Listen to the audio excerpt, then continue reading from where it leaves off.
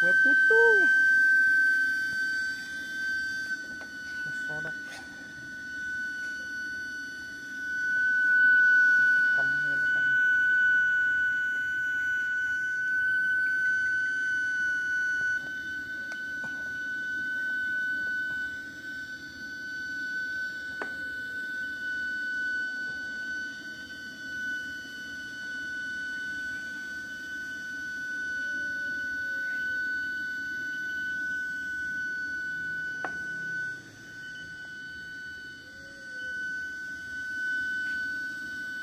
biasanya pakai gerobak ini sekarang pakai sepeda ya.